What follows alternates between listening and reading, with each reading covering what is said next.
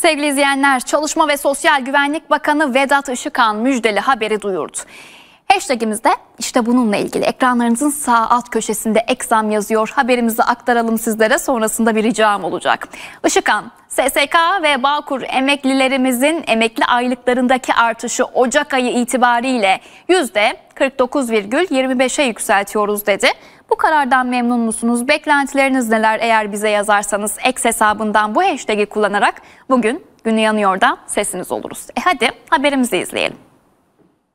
SSK ve Bağkur emeklerim için gerçekleşecek oran %37,57.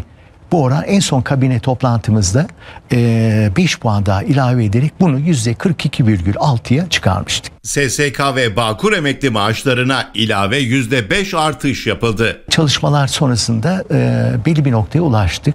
Bunu da e, şimdi buradan 13,5 milyonu bulan SSK ve Bağkur emeklilerimize bir müjde vermek istiyorum. Çalışma ve Sosyal Güvenlik Bakanı Vedat Işıkhan TRT Haber'de katıldığı bir programda SSK ve Bağkur emeklilerine yeni zam müjdesini duyurdu. SSK ve Bağkur emeklilerimizin emekli aylıklarındaki artışı Ocak ayı itibarıyla %49,25'e yükseltiyoruz.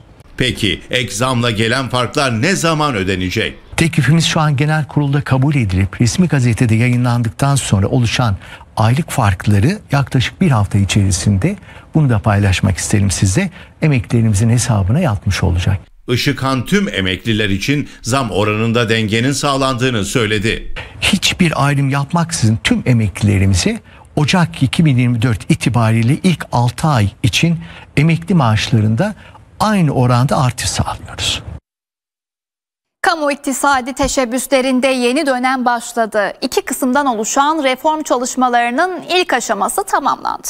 Hazine ve Maliye Bakanı Mehmet Şimşek mali disiplin vurgusu yaptı. Şimşek'in açıklamalarının detaylarına bakacağız.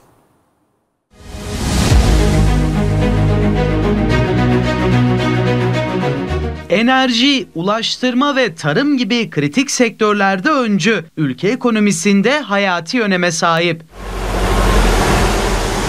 Kamu iktisadi teşebbüslerinde şeffaflık ve hesap verilebilirliği artırmak için ilk eşik aşıldı. İki kısımlı reform çalışmalarında ilk aşama tamamlandı. Ekonomi Koordinasyon Kurulu'na sunuldu. Reform çalışmalarımız tasarruf tedbirlerimizle uyumlu. Harcamalarımızı verimli bir şekilde yönetiyoruz. Mali disiplin konusundaki duruşumuz net. Parayla maliye politikası arasındaki uyumu pekiştiriyoruz. Göstergelerde kalıcı bozulmalara geçit vermemek için gerekli tedbirleri aldık, almaya da devam edeceğiz.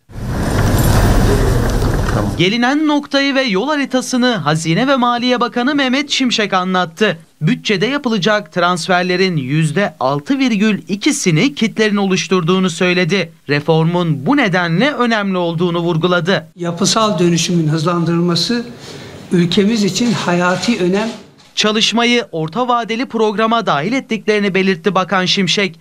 Satın alma usullerinin uluslararası standartlara göre yeniden düzenleneceğine dikkat çekti. Merkezi yönetimin kontrolü altında 19 kit bulunuyor.